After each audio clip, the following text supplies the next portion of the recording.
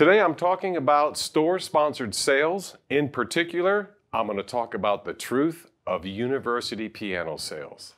Stick around.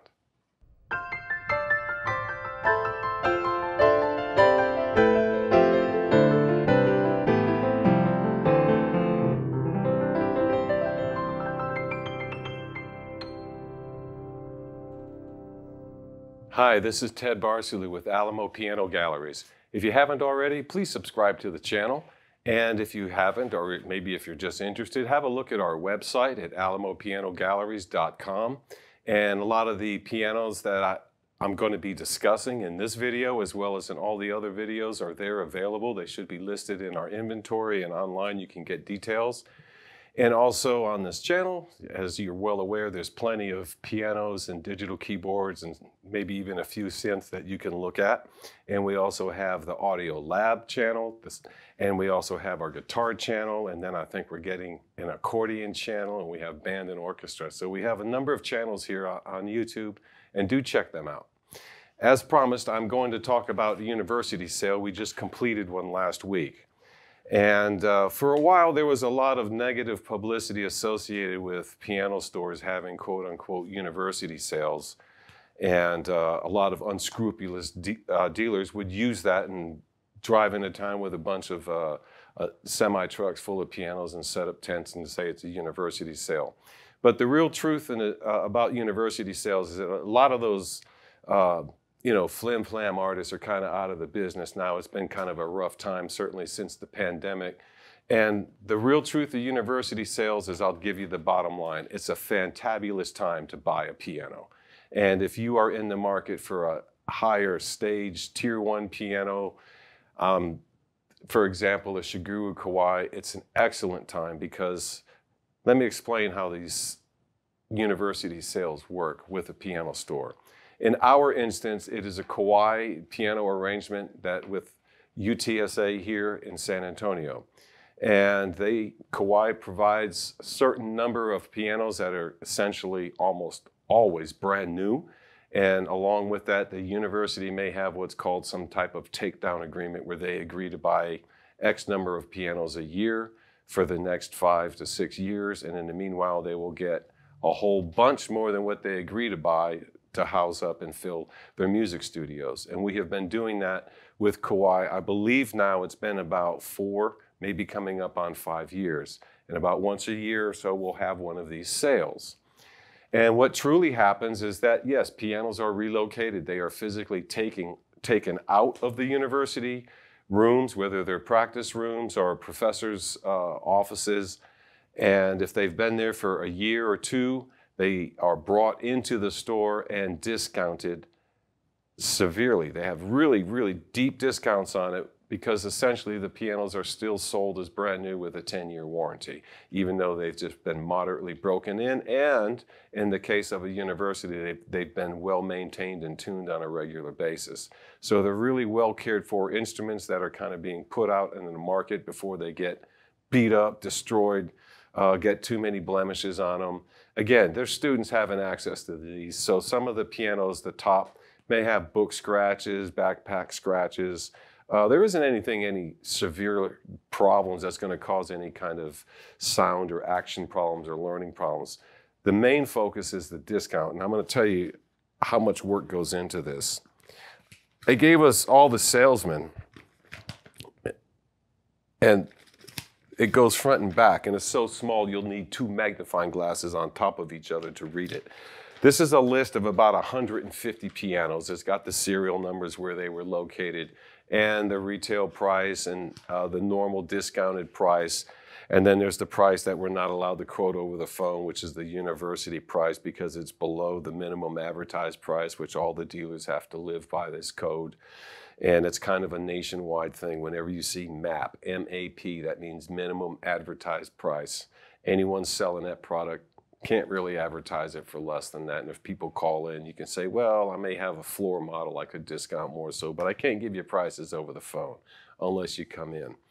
Well, what happens with these rotation of pianos is to give you an idea, we ended up at these sales normally selling between 40 to 60 units. That's the number of pianos. Has nothing to do with the cost or the purchase price of the piano. I will tell you this it's almost evenly split, uh, saying the university provided pianos are about half of the sales.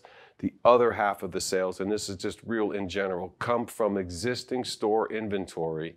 Some things that may have been around here for way too long are drastically reduced in price so we can move them. And then there's other things. Everything we do, we try to move to sell as much as possible on a minute by minute, hour to hour, day to day basis during the four or five days that the sale runs. And we've had great results with it, and a lot of people have gotten some phenomenal deals on pianos. However, we do have a large portion of the shoppers come in and they're looking for a $500 grand piano or a $200 upright so they can get their kid going. And yeah, we have a $500 piano and we have a $250 upright. And I don't recommend it for anyone to get those to learn on. These are pianos that are great for props if you want to blow them up, light them on fire, do that kind of stuff. We have a lot of local artists that are always doing that kind of thing. Recently, I found a guy that actually takes pianos, old clunk wooden ones that people just want removed. In some instances, this guy is picking up 200, 100 to 200 year old pianos. And these are pianos that were made at small factories no longer around, but he has found a number of 150 year old Masons and a lot of names that haven't been around. However, the lumber on these pianos have very, very well aged spruce soundboards. A lot of them are made out of solid Brazilian rosewood that this guy cuts up. He takes the ebony keys and makes fretboards out of them. So there's really fascinating things, and there's always some kind of use and value in a piano rather than taking it to the scrapyard. Now, the results are we've had some people, we sold a couple of grand pianos for right above the $2,000 mark, and I'm surprised that they went at that price. And I've been in this business 25, 26 years, and we cut some prices on this and moved a lot of pianos. I don't think we sold a single spinet. I think we did sell a lot of used consoles that were not part of the university's pianos, but they were part of the university piano sale. And that's where it, it used to get really, really kind of a fuzzy gray area where were they, all these old junky pianos out at the university? No, they weren't. Those are those pianos are placed here by the store as additional inventory because there's a lot of people wanting to spend two or three hundred dollars on an old spinet or an upright. And if we have them, they can get them for that price. It doesn't mean we're always going to have those. We have those because we take them on trade. Or sometimes we go and buy a couple pianos that are great and they make you take the other ones there as kind of a consolation secondary prize. Um, university sales is a fantabulous time, fantastic time to get a great deal on a piano. If there's a sale coming up in your area, say in a week or so, try to find out what university is being provided. How big is that music department? How many pianos are they moving or drums or whatever it is they're getting rid of? Brass instruments. A lot of times they'll have these music closet clean out things from a university. That's not what this is. This is more of a manufacturer and an educational top institutions coming together out of necessity and need for decent pricing over a period of time, which means that the profitability is built into the equation because part of that is the throw off and the spin off of moving pianos to the general public. Now, the other thing that makes a university sale highly, highly successful is going through the listing of the alumni and having the university to agree to mail out greetings letters on behalf of the manufacturer providing the music gear the alumni receives a letter that says, You're an alumni, congratulations to be on our mailing list. We wanted to advise you the university is having a sale where they're getting rid of a lot of their pianos. If you are interested in participating in this sale, or if you or know someone, blah, blah, blah, the letter is so perfectly written and worded because it comes from two major institutions Kawai Piano Manufacturing and then also the University. Uh, educational system here in the state of Texas. So it's it's well written, well crafted program. Not all university sales used to be like that. If you can find one of those, that's the best time to get yourself a tier one piano, either a higher end GX, a six or seven foot.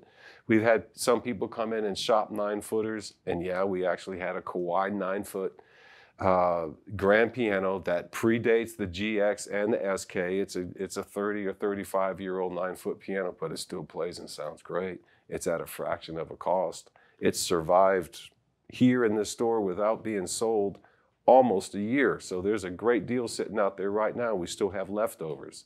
It's never too late to call. Go through our website and uh, see if there's something that, that interests you. Another thing I found fascinating is a lot of people will go in and participate in a sale just to see what's happening, just to know that they're not missing anything. And a lot of times they come in with their phone and say, I shopped your website. Where is this piano at?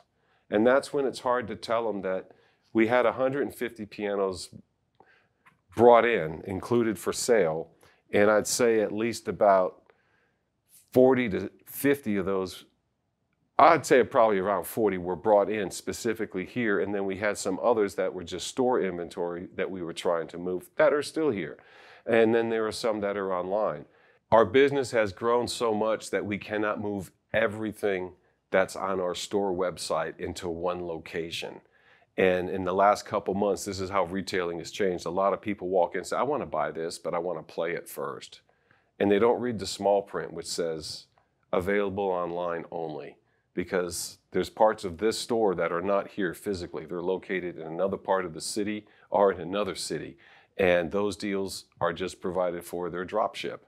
And yeah, we do a lot of that business. That's how we can stay open. That built that business built up for us during COVID. So like internet sales is a major part of a lot of retailing and university sales disappeared a while back because people thought they were just a way to get people excited about a sale it is a way to get people excited about the sale. If you excite the right people, you can, and you have the right inventory and the right program, there are just phenomenal deals, and the program continues to be successful every time we turn over the pianos, not just for the university, but also for the public.